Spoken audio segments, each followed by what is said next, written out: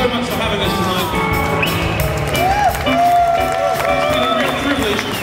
We've, we've only been playing for 20 years, not 50 like Mick. But we played with lots of musicians. And this is one of the finest musicians you're ever going to hear. Ladies and gentlemen, will you all give a massive warm thank you to Mick Taylor.